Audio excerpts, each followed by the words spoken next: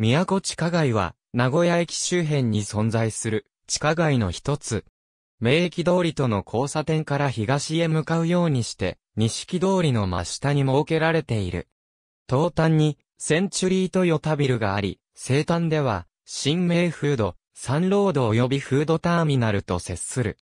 地下街全体が錦通地下に所在し、地下街の下には、地下鉄東山線が走っている。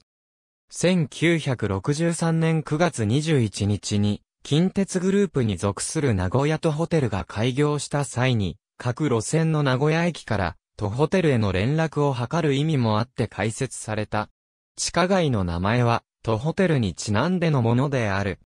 その開設の目的もあり地下街の運営は、近鉄グループが行ってきたが、2000年に名古屋とホテルが撤退したことから、近鉄グループとしては、地下街を保有する意義を失ったため、2003年に地下街を三井不動産へ売却、その後名古屋鉄道市会社の名鉄産業が取得し、2018年現在では、同社が管理を行っている。